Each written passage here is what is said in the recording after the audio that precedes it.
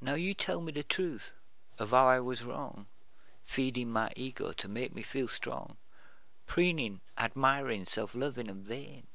You tear down my world and cause nothing but shame.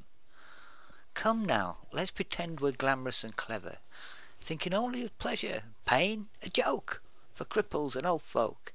Have no fear, I'll put my cock into gear. You talk about the beauty of mankind, but you only want to fuck from behind.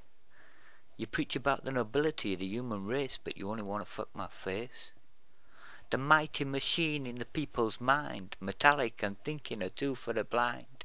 Smart lives, smart missiles, smart pills, acceptable kills, the stretching and bending of people's wills. Sanity vultures with open arms, offering guilt and other useless charms. Plastic thoughts from plastic men. Thank you, victim. Please come again.